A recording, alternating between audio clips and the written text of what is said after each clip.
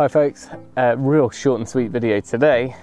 Uh, I've just made up this really simple screen for taking the soil and compost from our chicken run, which we use on our garden, but taking it from what looks like just clumps of soil, using this rack to super fine compost that we can plant in for the veg garden. So stick around and I'll show you how I did it.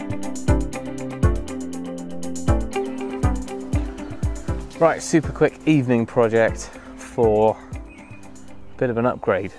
a few years ago we were sifting soil with an old gate which we put mesh over and it was a bit of a mess. I figured that these mesh heavy duty stainless steel security things that were over the windows in the old garage, uh, they happen to fit over our wheelbarrows pretty well.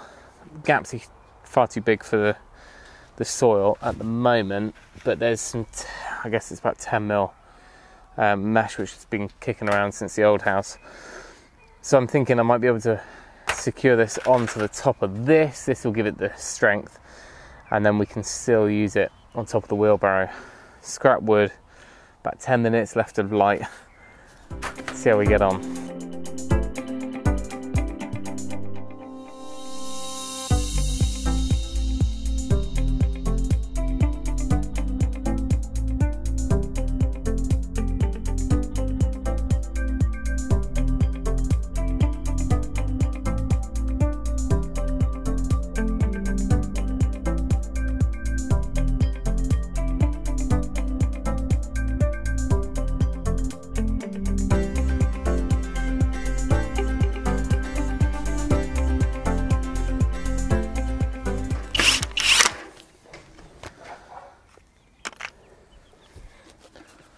Well,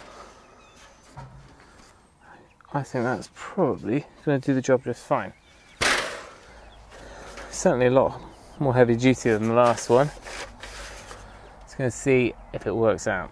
The idea is that it'll just sit on here, and I guess you could make ones to fit, but it just happened that that steel mesh actually doesn't quite fit.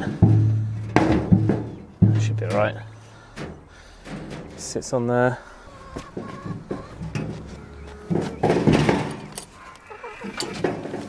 The main reason for this is where we put all of our compost, garden waste, everything comes into here, into the chicken pen. Now, the, last two years it's been in here, they've been tilling it over, adding their bit to it.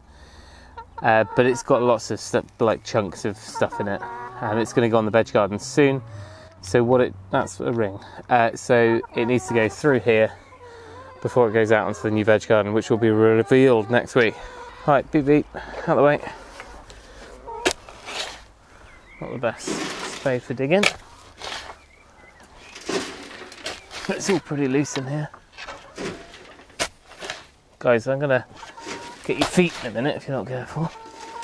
That's what I'm hoping is just be able to break it through by having that strong mesh underneath means we're not out, putting any strain on the actual wire on the fin gauge. And then there's not actually that many stones or anything here, it's just big clumps. So the rest of it we can just tip off.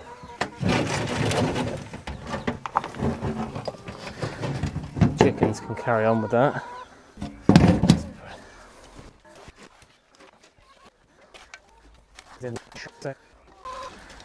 My other option was to find an old cement mixer and replace the drum or drill the drum somehow. Replace it with mesh, but that was getting a bit over overkill.